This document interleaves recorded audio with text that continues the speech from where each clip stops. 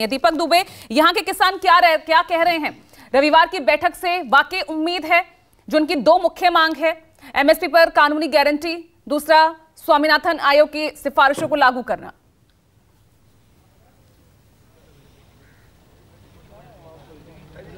जी किसान कल रात तक वे इंतज़ार कर रहे थे कि कुछ कुछ खुशखबरी आएगी लेकिन खुशखबरी नहीं आई। अब एक और वक्त दे दिया गया सरकार की तरफ़ से। नाराज़गी साफ़ तौर पर गुस्सा साफ़ तौर पर देखा जा सकता है। हम किसानों से ही बात करेंगे।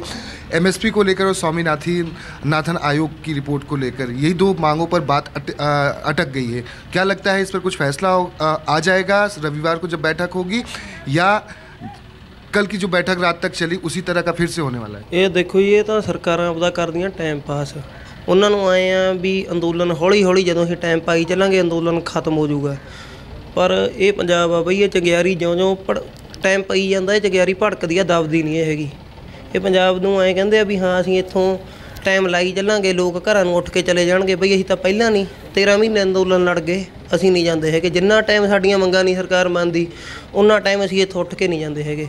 ਰਹਾਂਗੇ, ਜਾਬਤੇ 'ਚ ਰਹਾਂਗੇ, ਜਿਵੇਂ ਸਾਨੂੰ ਸਾਡੀ ਜਥੇਬੰਦੀ ਦੇ ਸੀਨੀਅਰ ਆਗੂ ਕਹਿੰਦੇ ਨੇ, ਅਸੀਂ ਉਦਾਂ ਕਰਦੇ ਆਂ। ਪਰ ਇਹ ਉਹਨਾਂ ਦੇ ਮਨ ਦਾ ਵਹਿਮ ਆ ਵੀ ਜਿੰਨਾ ਟਾਈਮ ਉਹ ਪਾਈ ਜਾਂਦੇ ਆ, ਇੱਥੇ ਸਾਨੂੰ ਬਹਾ ਲੈਣਗੇ, ਅਸੀਂ ਬਹਿੰਦੇ ਨਹੀਂ ਹੈਗੇ। ਉਹਨਾਂ ਨੂੰ ਆਏ ਆ ਵੀ ਇਹ ਉੱਠ ਕੇ ਚਲੇ ਜਾਣਗੇ, ਉੱਠ ਕੇ ਨਹੀਂ ਅਸੀਂ ਜਾਂਦੇ ਹੈਗੇ।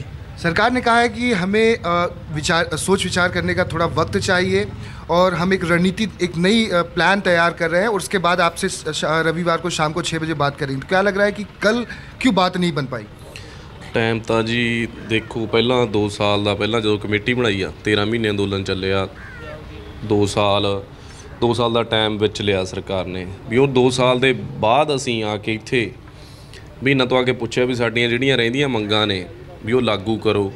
ਜਦੋਂ ਅਸੀਂ ਲਾਗੂ ਕਰਨ ਨੂੰ ਉਹ ਤੁਰੇ ਆ, ਅੱਜ ਅਸੀਂ ਆਏ ਆ ਤਾਂ ਸਰਕਾਰ ਨੇ ਸਾਡੇ ਮੂਹਰੇ ਬੈਰੀਕੇਡ ਲਾਤੇ।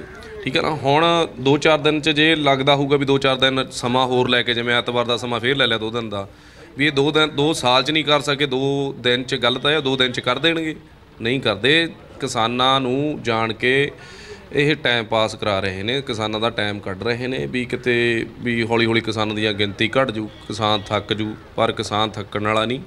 ਕਿਸਾਨਾਂ ਦੀ ਆਪਦੀ ਹੱਕਾਂ ਦੀ ਲੜਾਈ ਆ ਆਪਦੀ ਜ਼ਮੀਨ ਦੀ ਲੜਾਈ ਆ क्या रविवार तक सरकार कोई समाधान निकाल पाएगी पूछिए ਆਪਦੀ ਪੂਰੀ ਮੈਂ ਨਾ ਰਹਿੰਦੀ ਐਨ ਪੂਰੀ ਜਾਨ ਤੱਕ ਲੜਾਂਗੇ रविवार को क्या होगा सरकार समाधान निकाल पाएगी या नहीं निकाल पाएगी या कल की बैठक की तरह ही होने वाला है कि एक और समय बिल्कुल कोई समाधान नहीं निकलना सर दो साल हो गए इन्होंने कमेटी बनाई थी एमएसपी के ऊपर कमेटी बनाने के बाद मैं मोदी सरकार को बताना चाहता हूं कि हमारी फ़सलों के रेट रेट इतने डाउन हो चुके हैं।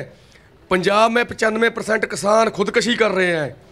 अगर एमएसपी नहीं दी तो पूरे का पूरा सौ परसेंट किसान खुदकशी करेगा। किसान कर्जे के एक बार सीधा रुक कर रही हूँ बॉर्डर से प्रशांत देव। प्रशांत देव ग्रामीण भारत बंद का कितना असर दिख रहा है? जल्दी से।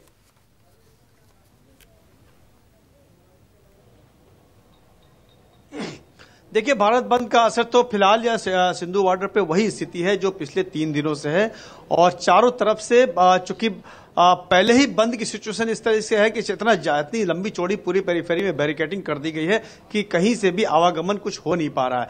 और दूसरी बात यह है कि आ, आ, बंद का असर आ, उस तरफ़ हो सकता है जहाँ पे आ, खुले खुले खुले इलाके हैं लेकिन फ़िलहाल सिंगू बॉर्डर की अगर बात करें तो यहाँ से लेकर वहाँ तक ऐसे ही पूरी तरीके से आ, आ, बंद है तालाबंदी है। आ, इस बैरिकेटिंग की वजह से सारी दोनों तरफ़ की दुकानें बंद है सारा काम धाम ठप है सारा कारोबार ठप है।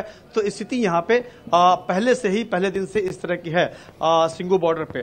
तो आ, अब आगे स्थिति क्या और होती है? हम्म। किस तरीके से कहानी और आगे बढ़ती है? ये आने वाला वक्त बताएगा तो सीमावर्ती तमाम जो इलाके हैं रोज़मर्रा के काम किस तरह से अटक गए हैं वो हम देख सकते हैं।